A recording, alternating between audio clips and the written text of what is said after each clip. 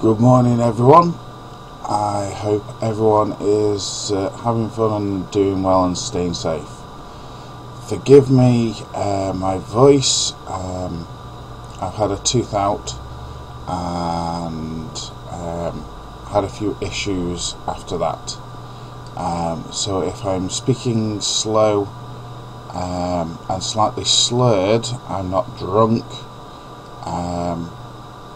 I'm just having an issue with my jaw. Now I'm going to try and get two videos out before my meds kick in because after that point um, all bets are off. So this video is entitled Magnetic Field Interaction with Aluminium. Some of the effects are not just limited to aluminium. Um, as we know not only aluminium but copper and other conductive materials produce a Lenz field when they come into contact with an alternating or moving magnetic field. So, what I want to demonstrate here is the main issue that people are completely ignoring when they are building their devices. Now on here we have a two-dimensional representation of a, a three-dimensional setup. Uh, simple reason being no way that I can demonstrate a three-dimensional setup uh, without going to extreme lengths of my time to set up uh, 3D models on the computer.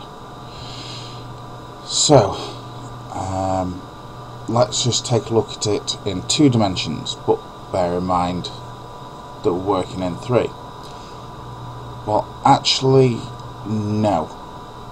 We need to work in another dimension.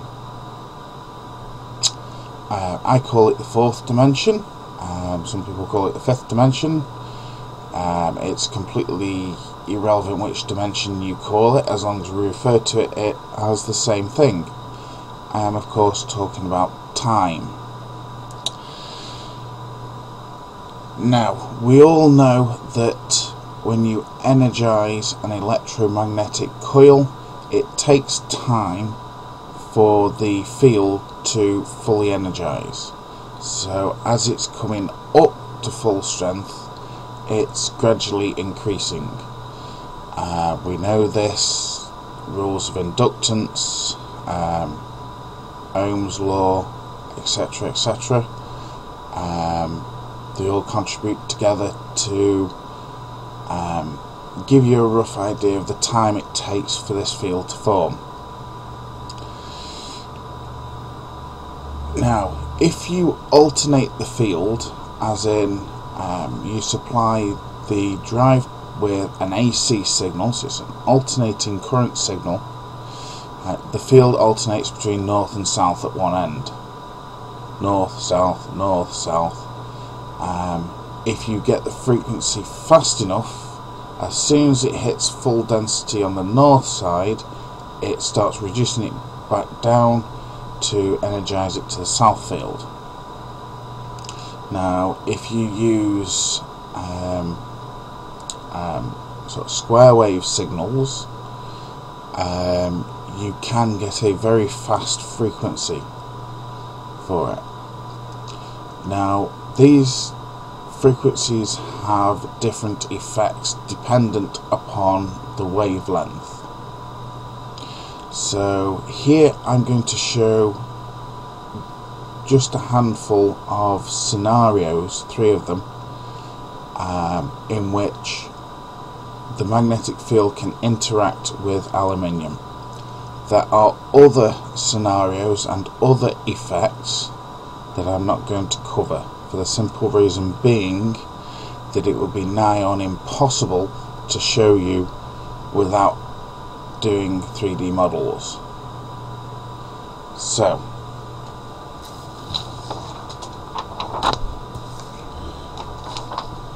on this sheet, yes, I've had to uh, print this off because my uh, my compass went missing. I suspect Nieces has had it.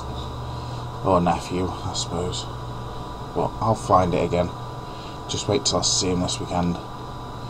Anyway, um, it's not exact um, the way a magnetic field would propagate, but assuming that these curved lines are a slow representation of an alternating magnetic field.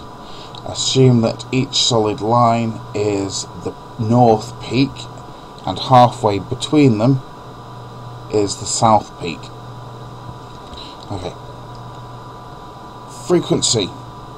If the frequency is low enough, then the majority of the field I'll try and draw this will just pass straight through. I say majority, there is a slight reduction. Okay, simple enough. Um, there's a slight, as I said, there's a slight reduction in field strength. There is a slight divergence that's that happens, uh, but the percentage of which depends on the thickness of the aluminium, which is this thing, against the frequency that uh, you're sending at it. Now, the strength itself, the peak strengths, also have a bearing on how much distortion you get in the, um, shall we say, signal strength, uh, signal integrity of the magnetic field. Um, so obviously, if uh, if you're intending on shoving gigawatts of uh, magnetic field through an aluminium plate, it's going to play havoc. Whereas if you just want to one of a watt, it's probably not going to do bugger all. So, that's one effect at low frequency. As I said, it's not the be all and end all. There are other effects that can happen.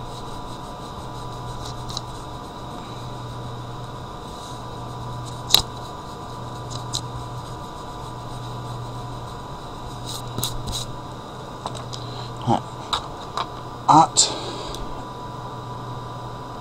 um, at a medium frequency, now I just realised the what we define as low, medium, and high frequencies is dependent on a load of factors. Um, um, atmospheric density for one, um, the whole setup of the drive coil for two, the thickness of the aluminium for three, um, the quality of the aluminium for four, um, the distance the aluminium is from the coil for another and so on and so forth. So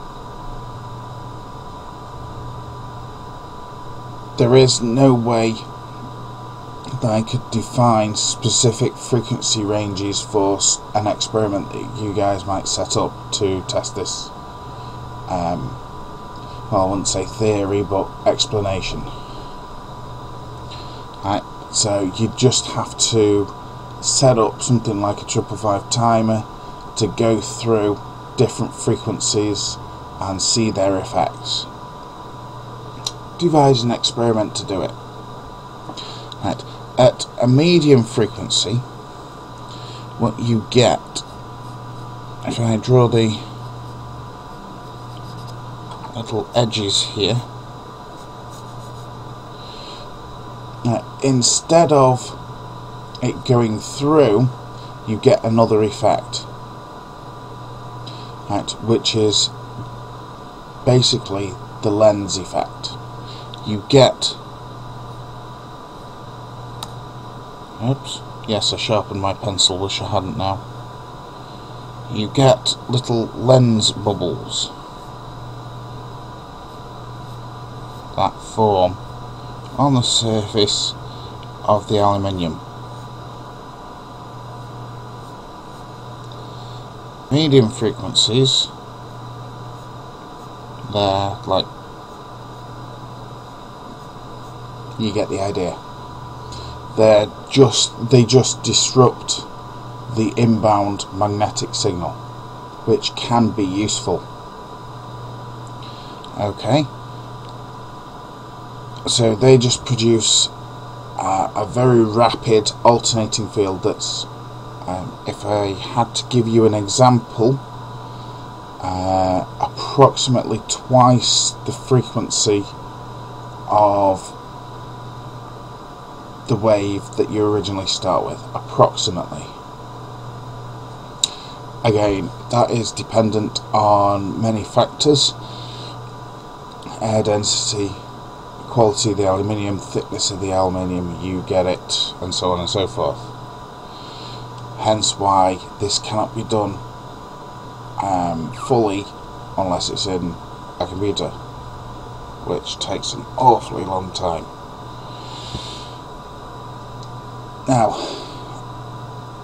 if um, well, an application for this which people may wish to consider right, is to put air coils on the face of this aluminium.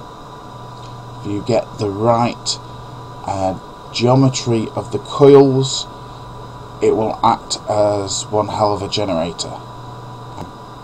Just be aware of the frequencies that are going to be involved and therefore how you rectify the power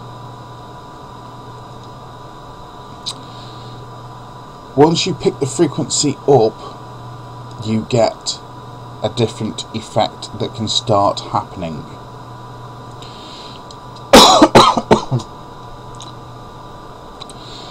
the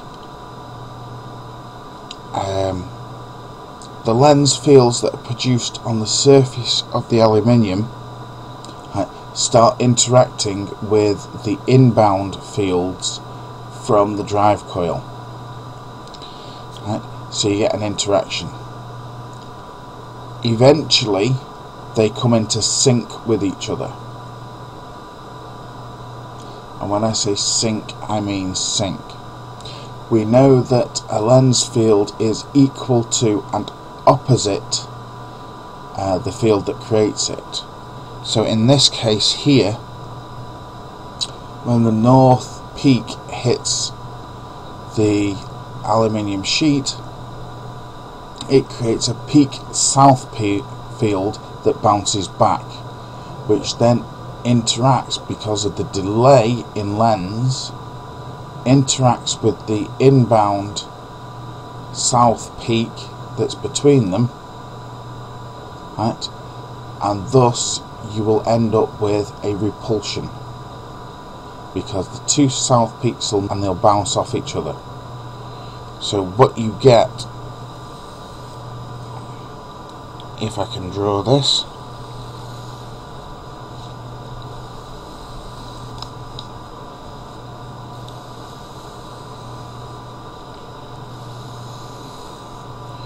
Is something that looks a bit like that. So the inbound field interacts with its predecessor and produces a repulsion. At the same time however if the distance between the aluminium and the drive coil changes because of the repulsion it will also become out of sync so the Lenz south field no longer interacts with the peak south field. Instead it interacts with the peak north field and thus creates an attraction. So what happens is it wants to keep the object and the distance between these two the same. It fights any movement once you get it to the right point. There's many examples of this on the net. I myself have pointed one with um, um, levitating aluminium, I think it's called. Uh, take a look at that. Um, there are other examples of levitating aluminium. so take a look. It's all there. It all comes down to the frequency and of course the, to a certain point the strength of the field that you're using. Excuse me. So just to quickly recap um, the field from your drive coil is not a static field. When you energize the coil, the field builds up. When you de-energize it, the field will collapse. Yes, I know it's kind of obvious. However, the speed at which these two expand and collapse dependent upon your setup, how well you've done the coil. The frequency in which it operates determines how the magnetic field that is being radiated out from the coil that interacts with other objects. Those of us that have been doing free energy experiments for several years will notice that when running a coil continuously, other objects around it, even two or three meters away, become magnetized. That is because of the EM radiation that is being put out. This has been mentioned in another post. Um, I can't remember where it was that I've seen it off the top of my head. Um, I too have mentioned it years ago. Um, so you may want to, for those that know how to, I should say, uh, may want to get an analog um, a Hall effect sensor, hook it up to a multimeter, and start waving it around and seeing if you can pick up the EM radiation. Uh, you might do, you might not do. Um, it could be that um, because of the frequencies coming off, it may well be that the multimeter can't pick it up fast enough but you can always have a play. So hopefully someone finds this interesting. Hopefully someone can use this information and create something that hasn't been created before and then we can progress forwards. Alright, any questions as always give me a shout. Um, I will talk to you probably in a few minutes for the next video. Bye for now.